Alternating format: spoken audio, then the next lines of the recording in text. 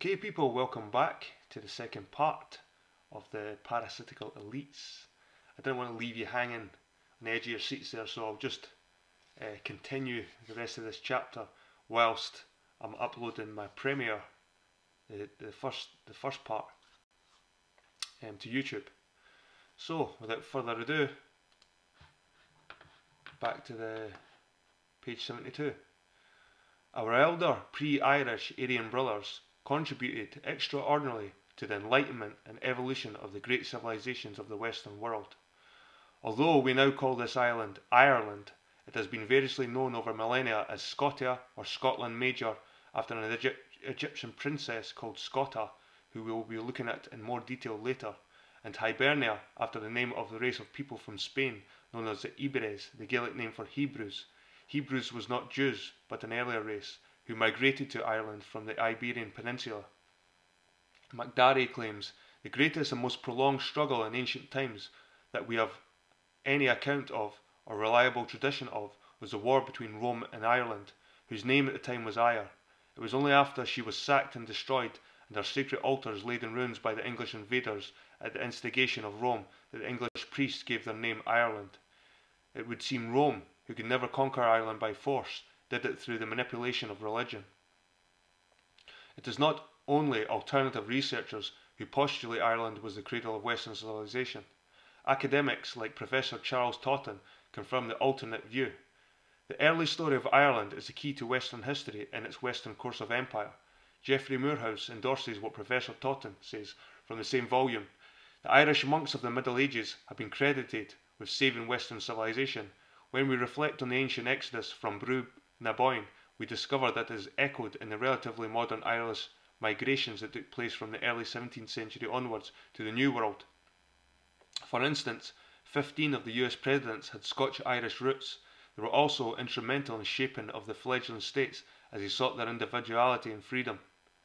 The Scots-Irish influence on early American history is well documented, but author Paddy McGarvey, whose novel Solution to the Irish Question is to create an American-style neutral capital situated in the Boyne Valley, insists the Battle of the Boyne led directly to the British surrender of America at Yorktown 90 years later and 100,000 Scot-Irish Presbyterians who brought that about are missing from the history books of Ireland, Great Britain and America.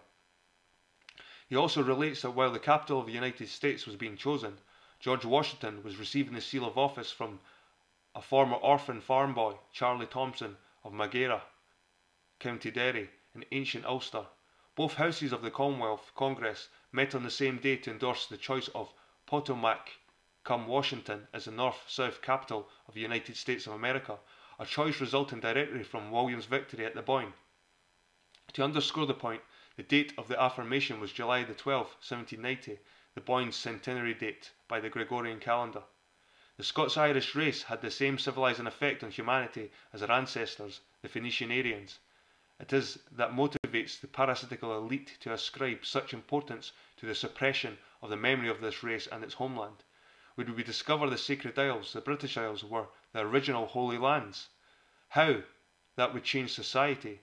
They also don't wish to risk the discovery that our prehistoric ancestors were not Stone Age cave dwellers, as commonly depicted, but were in fact an advanced race of civilizing scientists, astronomers, and mathematicians. Again, this would change the status quo according to Irish historian Ian Adamson.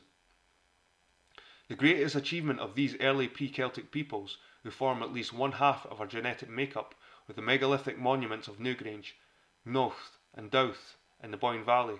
The architectural and engineering skill displayed by this community, no less the artistic sensibility demonstrated by the carved stones, bears testimony to the high degree of culture attained by them.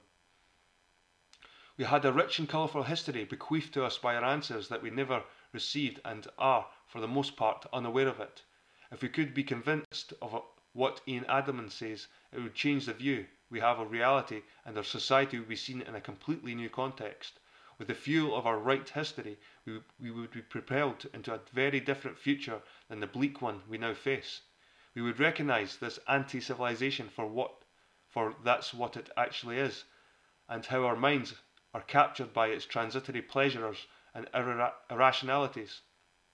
How much further ought our uh, civilization to have evolved if, as more and more non-establishment researchers and authors are confirming, our ancestors, in contradiction of being non-evolved cave dwellers, were a refined scientific race. Would this not show that someone or something has hindered our progress? And would, it, would this not finally change how we perceive our world and ourselves? There is an ample evidence of the importance of Ireland in putting history into its proper context. Cross and Slover says of it. All who have even the slightest acquaintance with the early literature of Western Europe now recognise the particular importance which attaches to the traditions of ancient Ireland.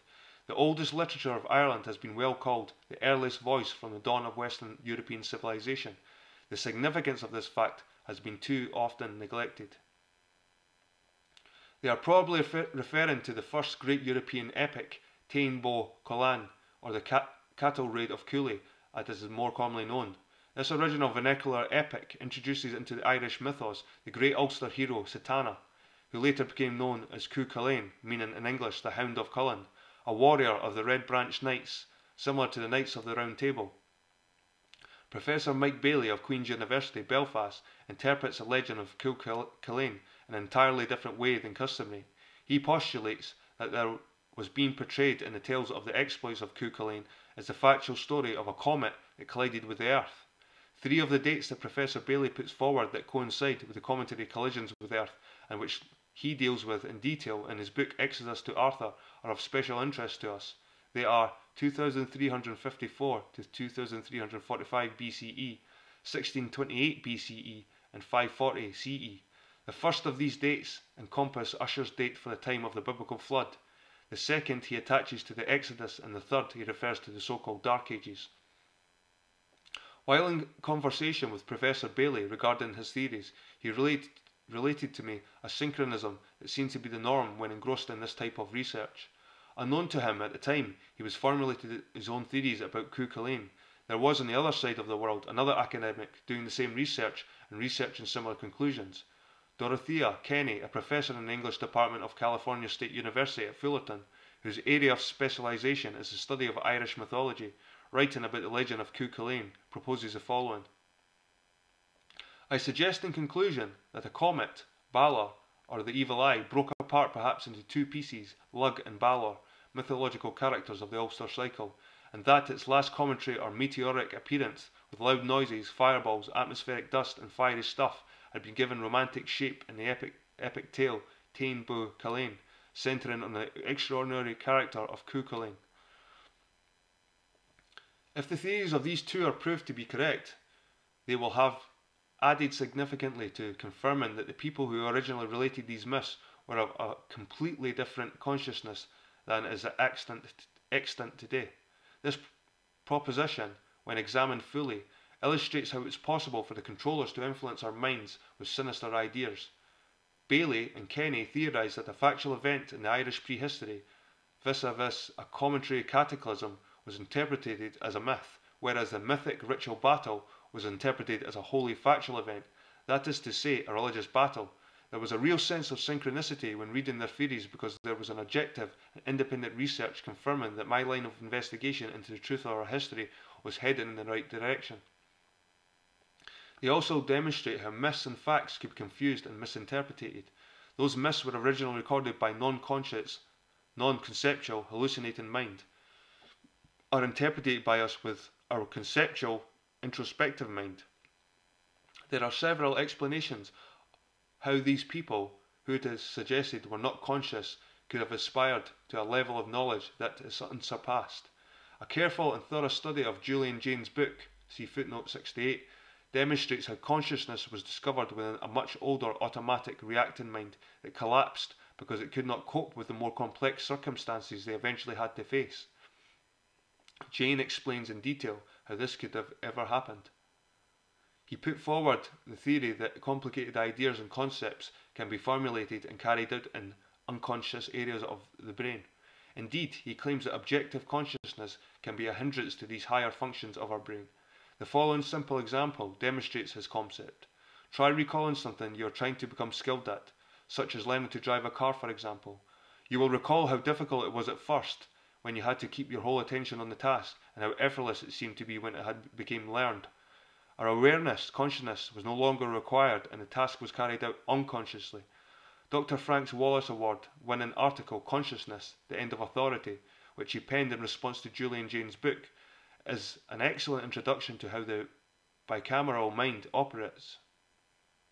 In his article, Dr. Wallace clearly defines the significance of the difference of these two radically different methods of thinking and demonstrates that the man was a feeling and emotional being long before he was a rational being. In summary, the bicameral mind is a two-chambered automatic guidance system that directed unconscious or natural man. It could be compared to the reactive mind of other primates. But because of this much larger brain, man was able to develop a coherent language. He was then guided by audio hallucinations. Those hallucinations evolved in the right hemisphere of the brain and were heard as communication or commands in the left side of the brain.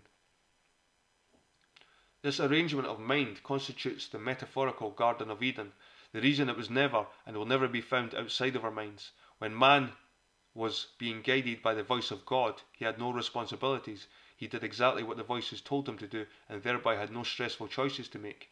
Everything was calm and organized. Man walked with God. Inner struggles were not a phenomenon they could have they would have recognized. Then man committed the original sin by his necessary discovering of subjective consciousness, the I. He gained knowledge of self. It was then that Adam and Eve, man and woman, were cast out from the Garden of Eden, and the Lord God, bicameral or God, the God part of the mind, said, Behold, the man has become one of us to know good and evil. This was the beginning of our journey to consciousness, and is the reason religion keeps us feeling guilty about our discovery that we can prosper and commune with our own God, leaving them powerless. It is possible that the biblical narrative is a symbolic story of a soul personality and its historical journey evolving out of a singular, bicameral consciousness, the Old Testament, to the discovery of individual Christ consciousness, the story of the birth and life of Jesus, the New Testament. Eminent scientist Richard Bergland described describing the workings of the brain notes. You have two brains, a left and a right. Modern brain scientists now know that your left brain is your verbal and rational brain. It thinks serious, serially and reduces its thoughts to numbers, letters, and words. Your right brain is your non-verbal and intuitive brain. It thinks in patterns or pictures, composed of whole things, and does not comprehend reductions, either numbers, letters, or words. For a clearer understanding of how the hemispheres of the brain interact, Betty Edwards' book, Drawn on the Right Side of the Brain, is strongly recommended for the layperson. In the following quote, she gives some imaginative examples of how down through the years we have, because of the dichotomy in our brain, been in conflict with ourselves.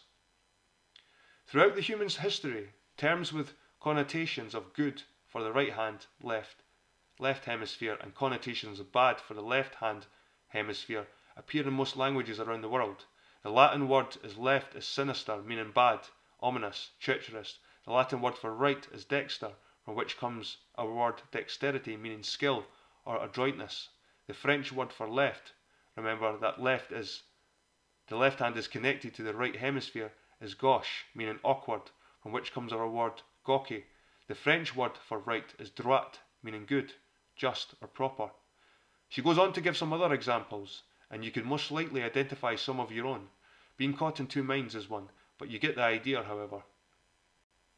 It is important to remember that these terms were made up when languages began by some person's left hemisphere, the left brain calling the right bad names, and the right brain labelled pinpointed and buttonholed was without a language of its own to defend itself. Does this not sound like a deserted bicameral child man ranting about the voice of the gods who had deserted him when his bicameral mind was in the process of breaking down. Edwards demonstrates that the modern theories of the brain point to the infected remnants of our bicameral mind being confused with our conscious mind, and that it, and isn't this how we are left open to manipulation? Reading some of the earlier books of the Bible, Jeremiah for example, or the Iliad and the Odyssey, according to Jaynes, these two great Greek epics straddle the breakdown of the bicameral era and the beginning of consciousness, would give us a better understand of how the bicameral mind works. You may begin to understand the confusion amongst historians without knowledge of the bicameral or nature mind when trying to explain how myths and legends were originally documented. The people recording events of 3,000 years ago and earlier would be wholly bicameral, which means they would be recording events projected and interpreted by the right, non discriminatory side of the brain, God, as oral instructions in the left hemisphere, man. Modern psychology was we discovered confirms that the right side of the brain is the part that communicates and can only communicate through symbolism. When both areas of the brain synchronize, we become a holistic being of mind, body, and soul, working together in perfect harmony. In summary, the right hemisphere of the brain we have interpreted as the voice of God, and the left side as the man part. We have seen both sides can work independently, but in con contradiction to the above, this leads to disharmony, unhappiness, and illness. This is the true hell of religion. That is to say, when man re rejects the God of his heart or refuses to listen to the voice of his inner or true self. For those that are discovering the theory of the bicameral mind for the first time, there is a need for a simple model of how it works in our everyday lives. Consider how our mind reacts while we sleep. You may be able to use that as a model to gain a better understanding of the workings of this ancient mindset. We know that when we sleep, our outside environment can influence us. If, for instance, if we hear a if we were to hear a dog barking outside our room, this could lead us to dream of a dog chasing us. Our brain tricks us into thinking we're going through a series of events that appear to last for a long time. However, when we wake, we know it was a dream since our reasoning mind kicks in. But in the case of the bicameral mind, 3,000 years ago, the kicking in of the conscious mind never happened and the dream events were recorded as real experiences. Have you ever had a dream, Neo, that you were so sure was real? What if you were unable to wake from that dream? How would you know the difference between the dream world and the real world? Briefly, people three millennia ago had what we might call an animal awareness, a kind of animal consciousness, but they weren't conscious of being aware. Today we are conscious that we are conscious, at least some of the time. Given some thought during your waking hours to how long you're objective, objectively conscious, you may be surprised how much of the day you're not conscious of your actions and yet you, barring accidents, cope adequately. A simple experiment will prove this as you go about your usual tasks. Stop every now and then and say to yourself, conscious, conscious, conscious, and analyse if you were, up to that moment, being conscious of your actions. Don't underestimate this simple exercise. Variations of it have been used by the yogis to teach their students for a long time. To see you may believe, but when you experience you understand. The foregoing gives us insight into how the myths and legends of history could have been distorted and manipulated. During the 17th century, there was still a strong inclination towards symbolism, as even today. That's why the ritual battle at the Boyne River, although a mixture of bicameralism, symbolism, and logic objectivism, was interpreted as a wholly objective or left brain activity. If we were to integrate the work of pioneering authors, researchers, especially the findings of Comyns, Beaumont, Velikovsky, and Baillie, with the theories of Julian Jaynes, we would be shown a dramatically different and more honest view of history than the one we had foisted on us. Professor Baillie's lecture to the Warp Conference in 1998 is a good example of this. At some time around 2300 plus 200 BC, a large number of the major civilizations of the world collapsed. The Old Kingdom in Egypt, the Akkadian Empire in Mesopotamia, the early Bronze Age societies in Anatolia, Greece and Israel, as well as the Indus Valley civilization in India, the Helmand civilization in Afghanistan, and the Hongshan culture in China, the first urban civilizations in the world, all fell into ruin at more or less the same time. The dates in Baillie's lecture concur with the period Julian Jaynes proposes for the beginnings of the breakdowns of bicameral civilizations disintegrating as structured societies and sheds some light on why these civilizations may have collapsed.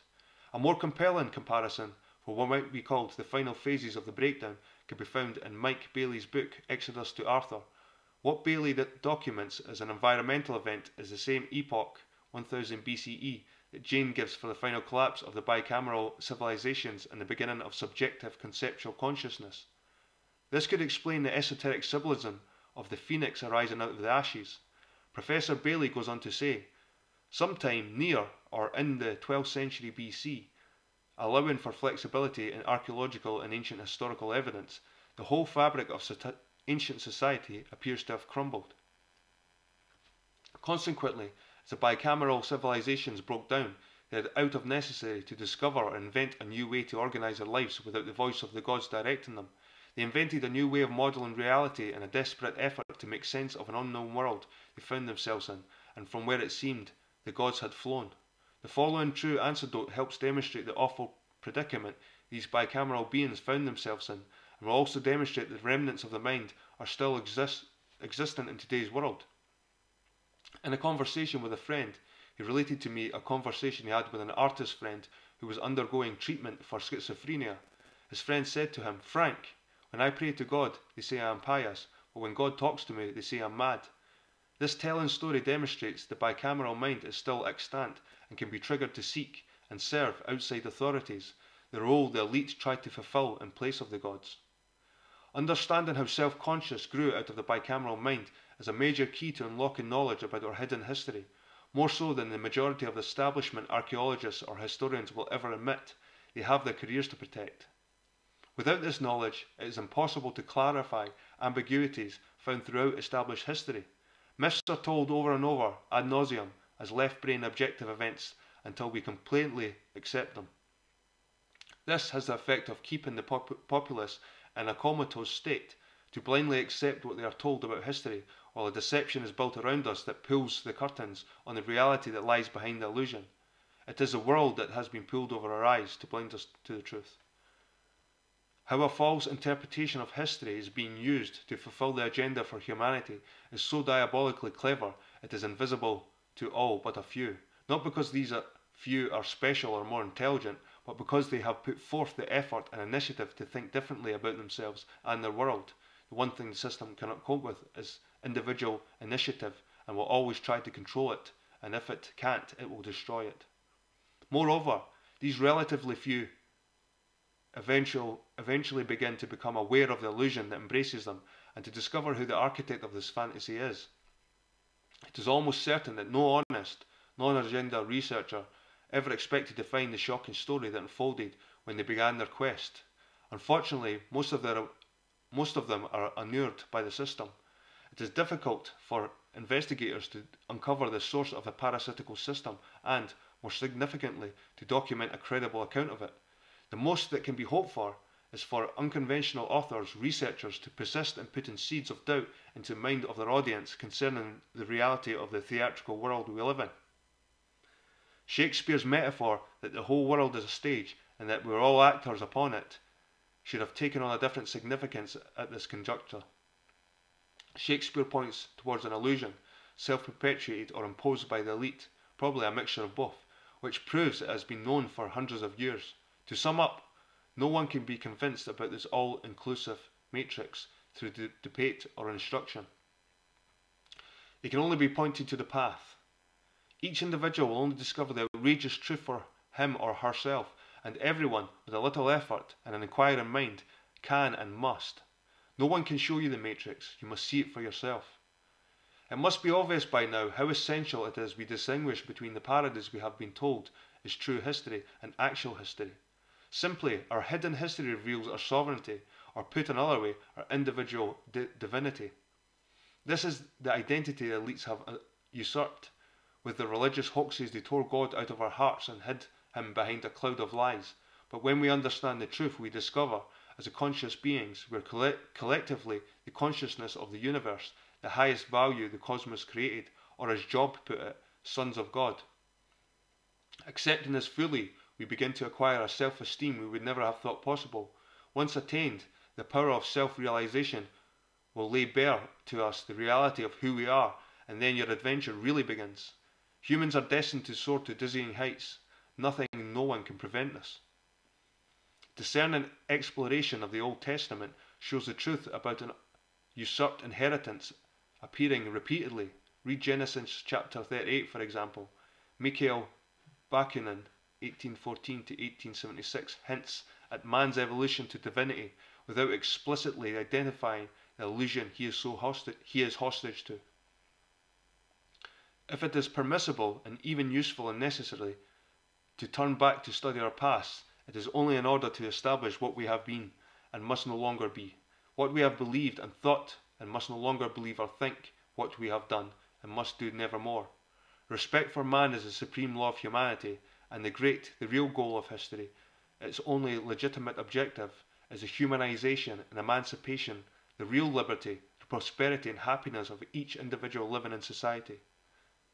For, in the final analysis, we must clearly recognize that collective liberty and prosperity exists only in as far as they represent the sum of individual liberties and pros prosperities.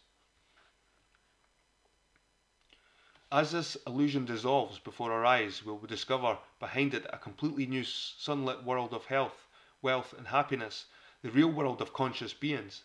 The paradox is, of course, that this is the world we already inhabit and would see it if we would free our captive minds from the fantasies that have conditioned us, keeping us chained to a world of illusion, a world of priests and politicians. The truths of religion are never so well understood as by those who have lost the power of reasoning. Voltaire, Philosophical Dictionary, 1764. This is no easy task we have given ourselves, for it requires constant effort of rational thinking and complete honesty to deconstruct the illusion of our minds have accepted as real. However, the rewards are huge. These include complete freedom and the disappearance of a parasitical ma matrices of control. To, to live the life we were meant to live, and they know it. The spectacular deception of our history personal and collective, assures the power brokers of society for a time of being a comfortable life of dominance over our lives, and they use the bicameral aspects of our minds to achieve this. George Orwell shows this works through O'Brien's interrogations of Winston in his landmark book, 1984. There is a party slogan dealing with the control of the past, he said. Repeat it, if you please. Who controls the past controls the future, who controls the present controls the past, repeated Winston obediently. Who controls the present controls the past, said O'Brien, nodding his head with slow approval. O'Brien continues to quiz Winston in Socratic style as to where the past exists, if at all. Winston is led to the conclusion it is in memory. In memory. Very well then. We, the party, control all records, and we control all memories. Then we control the past, do we not? Time is fast approaching when some difficult personal choices have to be made. Should we continue to believe the myths that are approved for our consumption and are taught through the controlled state run educational system and media? Or should we put forth the effort to educate ourselves because we will never truly learn about ourselves within the system as Trinity intuits? The matrix cannot tell you who you are. Defaulting on our responsibilities mean we continue to submit to a system that concentrates power in the hands of the few, the elite, which gives them the means to decide our future. Is this what we want? Do, do we choose to be robots? Of course, some individuals will refuse to believe any of this because they know they are in control of their life and destiny. Still, they do have a point since there are always going to be contradictions when trying to explain these concepts because we live in a closed system of irrationality. While it is indeed true that we control many aspects of our everyday lives, the truth is that we're only in control within the limited classification that is deemed appropriate for us in this upside down world of deception. The hidden controllers delight in the beauty and seemingly complexity of their creation because it is also per pervasive and seemingly invisible. It is all around us even now in this very room. You can see it when you look out your window or when you turn on your television set. You can feel it when you go to work, when you pay your ta taxes, Morpheus. The bloodlines who helped evolve the system machine are no longer deemed to be important or necessary for its continuation because it is now self-perpetuating. The true strength of this illusionary world is found in our willing acceptance, and incredibly, our defence of it, thus assuring its continuation. The nephew of Sigmund Freud, Edward L. Bernays, the father of public relations, although some might say father of mind control, demonstrated throughout his life how mass psychology can easily be used to attain predetermined results. Edward L. Bernays, an Austrian immigrant and nephew of Sigmund Freud, is often credited with being the father of public relations. He served the US government's propaganda arm, the US Committee on Public Information, during World War I. He went on to tutor political leaders on the use of mass media and engineering of consent in the mid 20th century. Bernays was named one of the most influential Americans of the century by Life magazine. One of the most influential Americans of the century, and yet, how many people have ever heard of him? Anonymity, anonymity suited him, as he indicates. Those who manipulate the organised habits and opinions of the masses constitute an invisible government which is the true ruling power of our country. We are dominated by a relatively small number of persons, as civilization has become more complex. The technical means have been invented and developed by which opinion may be regimented. It is not generally realized to what extent the word, words and actions of our most influential public men are dictated by shrewd persons operating behind the scenes. Even a cursory look at Bernays' life and work would be educational because it proves how relatively easy it is for the system to capture and control our minds, as long as we give them permission, although it needs to be said, never our spirit. Of necessity, control begins in our institutes of learning. Professor Owen, Dean of the Faculty of Science of Queen's University of Belfast, illustrates what university should mean for the student. He protests that university is not an extension of school, it was never intended as a career cram shop. University should be a forum for exchange of ideas, a place for original thinking and birthing new theories. Sadly, this was never to be the purpose. Professor Owen misses the point. Their minds had already been captured and compartmentalized from a young age within the educational system. Original thinking was never intended to be part of the system. The Jesuits' axiom, give me the child before the seventh year, and I will give you the man, makes this disturbingly clear. Joy Elmer Morgan, former editor of the National Education Association Journal and the Teaching and World Government, writes In the struggle to establish an adequate world government, the teacher can do much to prepare the hearts and minds of children, condition and control, for global understanding and cooperation. At the very heart of all the agencies which will assure the coming of the world, governments must stand the school, the teacher, and the organised profession. Still not convinced? In the writings of John Taylor Gatto, an award-winning New York school teacher for 30 years reveals that the public school's hidden agenda is to produce good worker and consumer bees for corporate and economic benefit. This is certainly food for thought. His book, Underground History of American Education, should be compulsory reading for every parent anyone else who is sincerely trying to understand the world we live in. It will certainly convince any rational person that the system begins its control in our junior schools.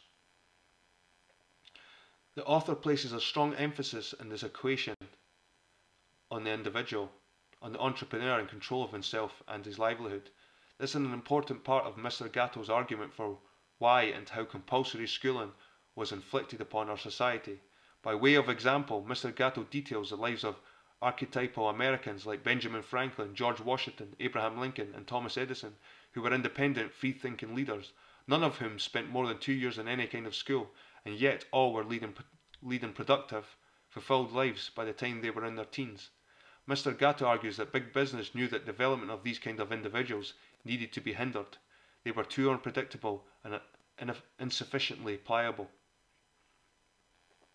Gatto wrote many essays. The couple of examples that follow should convince the most sceptical among us about the nefarious agendas in our schools. Although Gatto writes about schools in the USA, the same principles can be applied to any school system in the West.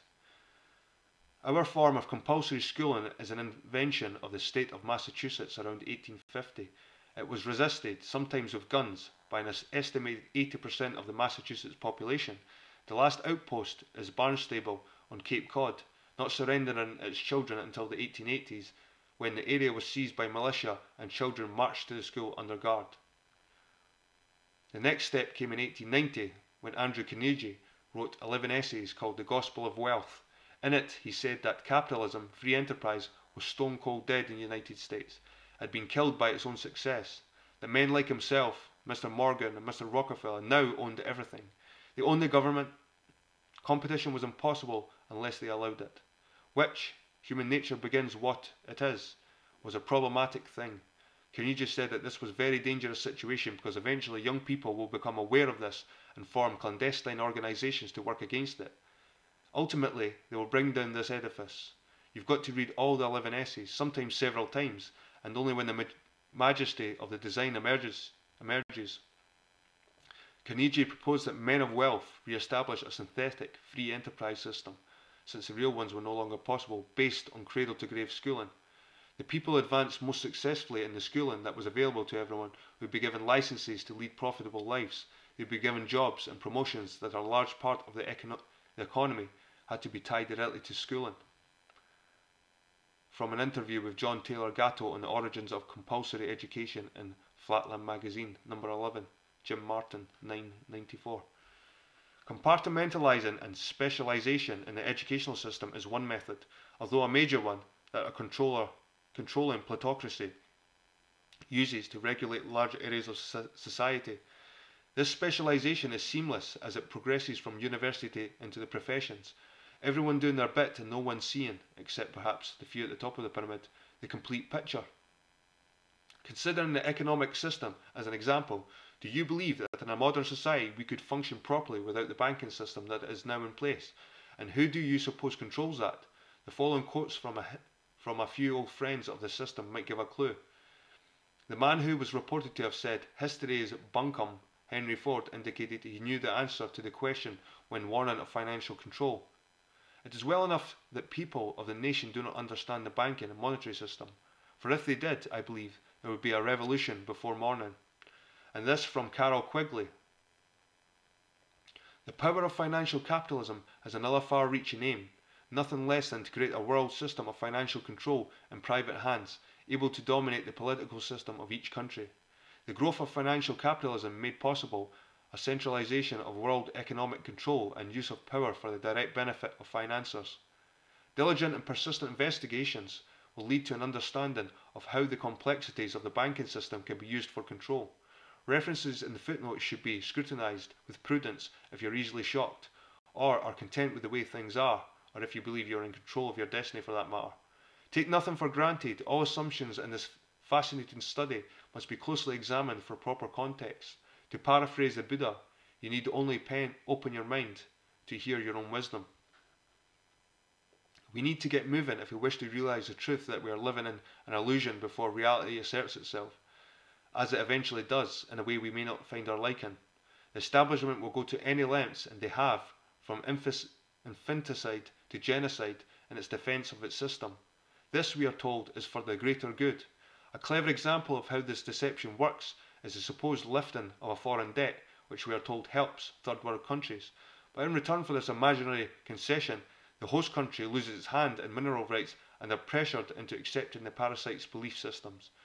All these concrete values in exchange for forgiveness of something created out of nothing. Debt. This basic explanation will help you begin to understand how third world countries are left like a carcass after scavengers have sat satiated their hunger, satiated their hunger.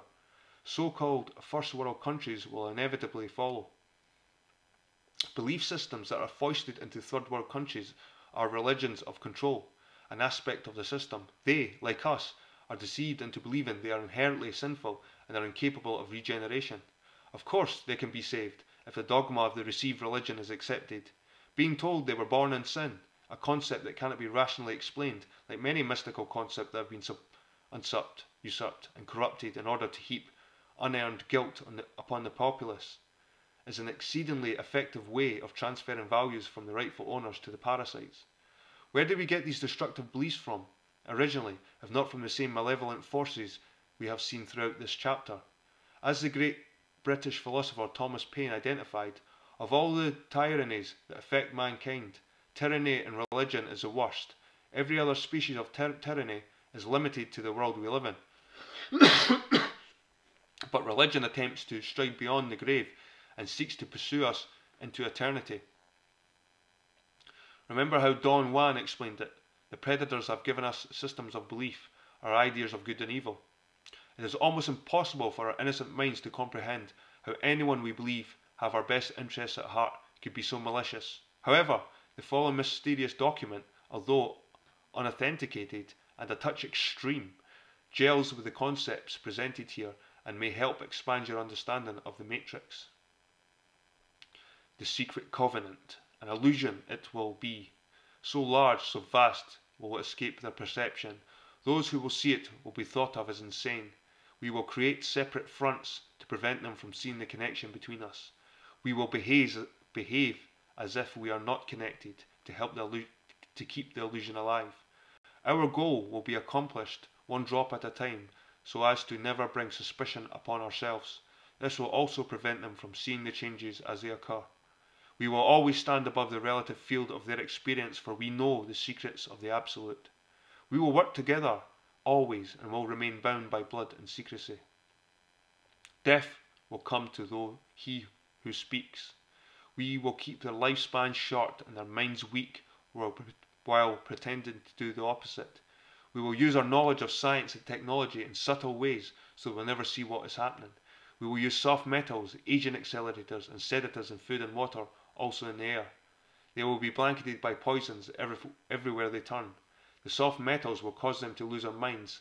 We were promised to find a cure from our many fronts, yet we will feed them more poison. The poisons will be absorbed through their skin and mouths. They will destroy their minds and reproductive systems. From all this, their children will be born dead, and we will conceal this information. The poisons will be hidden in everything that surrounds them, and what they drink, eat, breathe, and wear. We must be ingenious in dispensing the poisons, for they can see far. We will teach them that the poisons are good, with fun images and musical tones. Those they look up to will help. We will enlist them to push our poisons. They will see our product being used in film, and we will grow accustomed to them, and we will never know their true effect. When they give birth, we will inject poisons into the blood of their children and convince them it's for their help. We will start early on, when their minds are young. We will target their children with what children love most sweet things. When their teeth decay, we will fill them with metals that will kill their mind and steal their future. When their ability to learn has been affected, we will cr create medicine that will make them sicker and cause other diseases for which we'll create yet more medicine. We will render them docile and weak before us by our power. They will grow depressed, slow and obese, and when they come to us for help, we will give them more poison. We will focus their attention towards money and material goods so the many never connect with their inner self. We will distract them with fornication, fornication, external pleasures, and games so they may never be one with oneness of it all. Their minds will belong to us and they will do as we say. If they refuse, we shall find ways to implement mind altering technology into their lives. We will use fear as our weapon. We will establish their governments and establish opposites within. We will own both sides. Will always hide our objective but carry out our plan. They will perform the labour for us and we shall prosper from their toil. Our families will never mix with theirs. Our blood must be pure always, for it is the way. We will make them kill each other when it suits us. We will keep them separated from the oneness of by dogma and religion. We will control all aspects of their lives and tell them what to think and how. We will guide them kindly and gently, letting them think they are guiding themselves. We will ferment animosity between them through our factions. When a light shall shine among them, we shall extinguish it by ridicule or death, whichever suits us best. We will make them rip each other's hearts apart and kill their own children. We will accomplish this by using hate as our ally, anger as our friend. The hate will blind them totally, never sh shall they see that from their conflicts we emerge as their rulers. They will be busy killing each other. They will bathe in their own blood and kill their neighbours for as long as we see fit. We will benefit greatly from this, for they will not see us, for they ca cannot see us. We will continue to prosper from their wars and their deaths. We shall repeat this over and over until our ultimate goal is accomplished. We will continue to make them live in fear and anger through images and sounds. We will use all the tools we have to accomplish this. The tools will be pr provided by their labour. We will make them hate themselves and their neighbours. We will always hide the divine truth from them that we are all one. This they must never know. They must never know that colour is an illusion. They must always think they are not equal. Drop by drop, drop by drop, we will advance our goal. We will take over their lands, resources and wealth to exercise total control over them. We will deceive them into accepting laws that will steal the little freedom they will have. We will establish a money system that will imprison them forever, keeping them and their children in debt. When they shall band together, we shall accuse them of crimes and present a different story to the world, for we shall own all the media. We will use our media to control the flow of information and their sentiment in our favour. When they shall rise up against us, we will crush them like insects, for they are less than that. They will be helpless to do anything, for they will have no weapons. We will recruit some of their own to carry out our plans. We will promise them eternal life, but eternal life they will never have, for they are not of us. The recruits will be called initiates, and will be indoctrinated to false rites of passage to higher realms. Members of these groups will think they are one with us, never knowing the truth. They must never learn this truth, for they will turn against us. For their work, they will be rewarded with earthly things and great titles, but never will they become immortal and join us. Never will they receive the light and travel the stars. They will never reach the higher realms, for the killing of their own kind will prevent passage to the realm of enlightenment. This they will never know. The truth will be hidden in their face, so close they will not able to focus on it until it's too late. Oh yes, so grand the illusion of freedom will be that they will never know they are our slaves. When all is in place, the reality we have created for them will own them. This reality will be their prison. They will live in self-delusion. When our goal is accomplished, a new era of domination will begin. Their minds will be bound by their beliefs, the beliefs we have established from time immemorial. But if they ever found out they are our equal, we shall perish then. This they must never know. If they ever find out that together they can vanquish us, they will take action. They must never ever find out what we have done, for if they do, we shall have no place to run, for it will be easy to see who we are once the veil has fallen. Our actions will have revealed who we are, and they will hunt us down, and no person shall give us shelter. This is a secret covenant by which we live the rest of our present and future lives, for this reality will transcend many generations and lifespans. This covenant is sealed by blood, our blood, we, the ones from heaven to earth came. This covenant must never ever be known to exist. It must never ever be written or spoken of, for it is the consciousness it will spawn will release the fury of the prime creator upon us. We shall be cast into the depths from whence we came and remain there until the end of time, infinity itself. Conveniently, author unknown. There is no simple answer as to why of this seemingly malevolence. It could be as straightforward as philosopher Ayn Rand says, they hate the good because it is good. It is no accident so many silver-tongued, Clinton-like politicians who preach freedom while at the same time destroying it have come to the fore recently. The purpose for this is twofold. Firstly, it shows the politicians as the charlatans they really are, and secondly, to destroy the matrix of illusions as quickly and mercifully as possible. These concepts may sound implausible. They were difficult for me to accept in the beginning, but all that is needed to prove their validity is for each of us to question the reality that we find ourselves in. This will have the effect of opening thinking processes we may never have used before. We will then discover for ourselves that the injustices we see all around us could not could only be tolerated in an irrational society. In fact, a veritable anti-civilization. In a rational society, we will be living to our true nature, which results in a peaceful, well-filled and romantic life instead of living in a debt-ridden society where our natural state has been suffocated and completely corrupted. Unfortunately, our minds have been trained to accept the status quo as beneficial to society. The only way to begin to understand the control that operates among us is to first learn to take heed of the still small voice. The part of us the system cannot deceive. We find that what is really controlled is the information that enters our brain through our five senses, like software for a computer. It is easy to understand that whoever controls the information controls the individual whose mind accepts the programming. This is more subtle than trying to suppress a country by brute force as history shows when looking at communism by way of example. The Machiavellian option has always been to control the masses through their beliefs along with some public relations exercises. Nothing else is needed. Remember what Mayer Rothschild said, I want to own nothing but control everything. This, as you may already have discovered, causes a conflict in our feelings because we really believe we are free. The reason for this belief, we are told repeatedly until we get it, is that we live in a democracy and we've been programmed to believe democracy equals freedom. Yet, what is democracy but the tyranny of the mob over the individual, the smallest minority of all? But if the individual's rights are protected, then all rights are protected. Oscar Wilde eloquently explains the problem with democracy. High hopes were once formed of democracy, but democracy means simply bludgeoning of the people, by the people, for the people. This reinforces the conflict we grapple with. We assume we are free, yet there is a subtle, uncomfortable feeling that there is something wrong, like a splinter in your mind. It would be re remiss of me to leave this chapter without briefly mentioning the ultimate conspiracy. Have you ever heard of the Protocols of the Learned Elders of Zion? This infamous document came to light in Russia during 1905 and was tra translated by one Victor Marsden in London in 1910.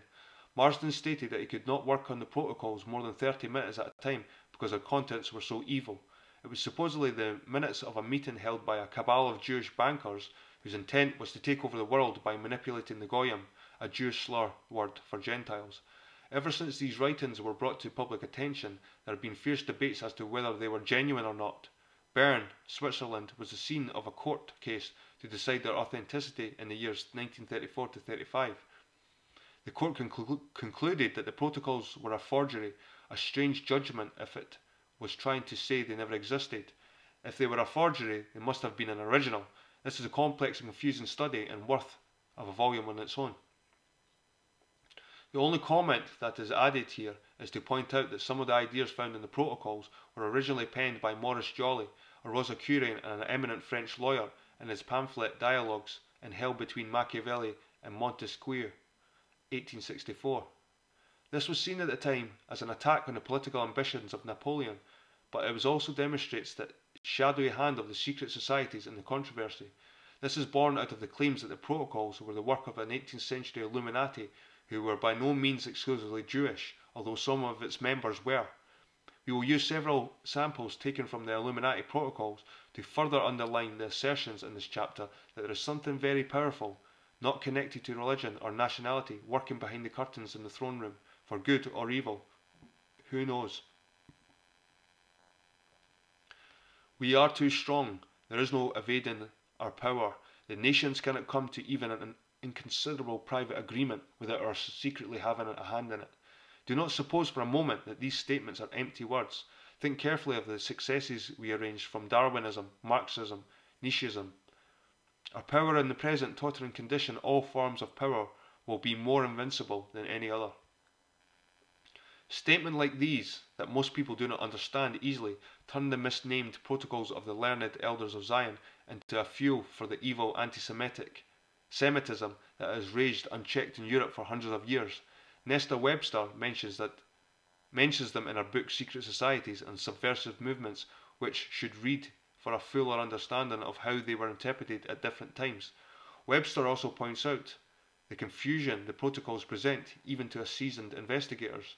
An international circle of world revolutionaries working on the lines of the Illuminati, of which the existence had already been indicated, offers a perfectly possible alternative to the learned elders of Zion. Conclusion The goal of this chapter was to discover, if it was possible, for the history of a minor battle to have been manipulated. We found the evidence for this to be overwhelming yet confusing because what most people think of as a conspiracy is a system looking after itself. It's possible we do not or cannot envisage a system in control of itself with the houses being its facilitators. Nevertheless, we found it would take another book to record all the information that points to a clandestine power directing elected governments as these mysterious documents such as the pro protocols demonstrate. Ultimately, you will have to make up your mind about the conspiracy. If you believe there is one, why do you believe this? If you think it's all nonsense, why do you believe that? These concepts seem, on the face of it, very pessimistic, but only through understanding the parasitical system do we have any hope of overcoming it. And to overcome it, we must, to free our minds. In the final analysis, it is the elite houses who have constructed the parasitical system, a global prison, a prison without bars. No one can explain the deception logically. How can anyone explain a delusion that is so powerful and omnipresent that it is impossible for most people to fathom?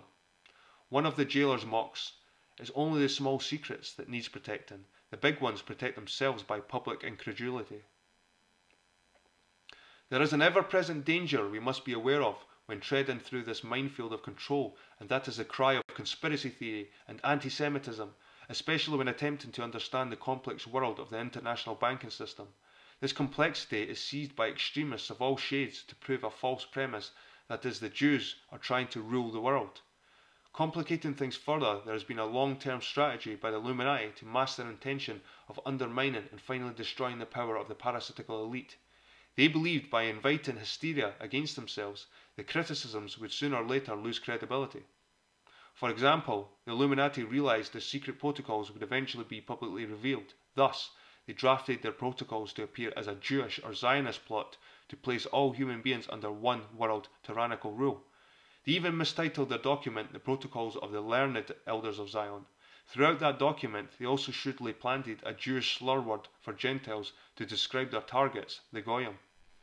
Let it be said loud and clear the prot- protocols of the learned elders of Zion had nothing whatsoever to do with the Jewish race, and if you believe it has, you are asking the wrong questions. Anti Semitism is a result of envy.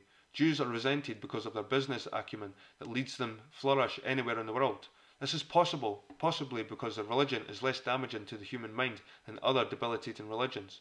You have to look at the business expertise of the Rothschilds to confirm this. It was the Rothschilds' monetary assistance that was instrumental in ending the so called Irish potato famine. However, Zionism is a different story altogether. Jewish history, like every other race's history, has been manipulated by a parasitical system. If you have resonated with some of the ideas in this chapter, you'll be better able to understand the theories about the importance of the Battle of the Boyne as the key to unravelling Western history. As an unknown philosopher acknowledged, our minds are like parachutes, they only work when they are open. You only have to keep your mind open a little longer for an amazing picture to unfold. In the meantime, explore the references in this book, and your attitude to life will change forever, guaranteed. To prove this for yourself, a perusal, a perusal of the article at www.localgroup.net, articlesworld.html, which epitomizes the contents of this chapter, will challenge your comfortable view of reality. We now proceed to examine the connections between the ancient land of Brú na Bóinne and the ritual battle. As we do this, we will unearth the amazing discoveries about the people who lived there and examine just how deep the rabbit hole goes. Every civilization carries the seeds of its own destruction, and the same cycle shows in them all. The Republic is born, flourishes, decays into plutocracy, and is captured by the shoemaker, whom the mercenaries and millionaires make into a king. The people invent their own oppressors, and the oppressors serve the function for which they are invented. Mark Twain, Eruption. So, guys, that's the end of that chapter, and here's just some footnotes. I'll just slowly scale through them. We've got Jordan Maxwell, David Talbot, um, just all the books that were referenced. So I'll slowly go through. You can pause it, have a look at it. That was a really interesting chapter. Uh, really gives me the drive to carry on reading the book. It's definitely a page turner, no doubt. So, guys, I'll see you in chapter 3 Brú na Bóinne. Hope you have a great weekend, and I'll see you all later. Cheers.